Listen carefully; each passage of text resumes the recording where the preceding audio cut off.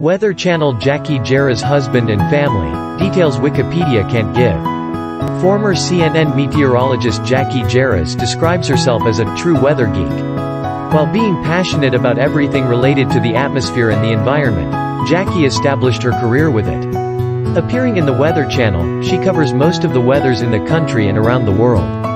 Keeping aside her weather-related passion, Jacqui is a proud mother. Indeed, she shares two kids with the love of her life, her husband of years. And, with the faith and support from her family, Jacqui even took steps to prevent herself from possible breast cancer.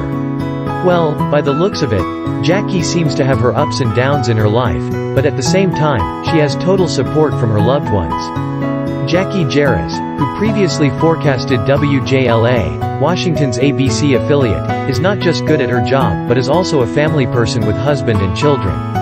On top of that, she has been together with her husband for over two decades. Jacqui is married to the love of her life, Mike, a pilot by profession. Turns out Mike has been Jacqui's best friend since college. The pair exchanged their wedding vows back in 1993. In 2018, the duo marked their 25 years togetherness. Jacqui and Mike are not only a great couple, but they are also proud parents of two children. The oldest daughter Aurora and a son named Ashton. Well, the duo shares a perfect family of four as they cherish each other's presence in their life.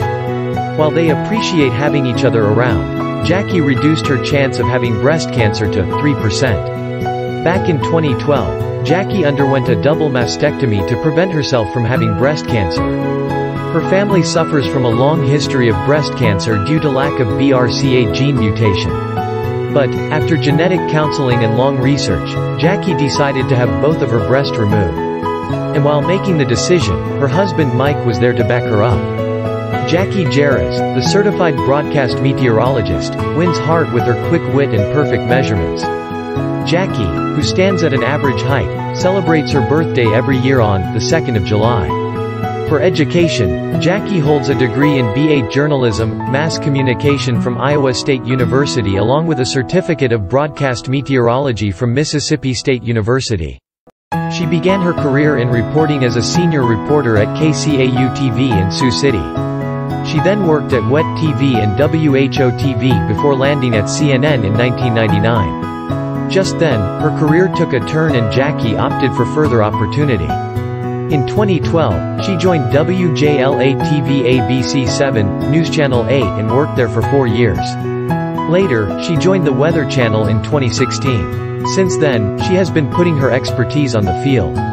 With her work, even at this age, Jacqui earns a handsome amount of salary to add up to her net worth. She is estimated to have a salary of $50,930.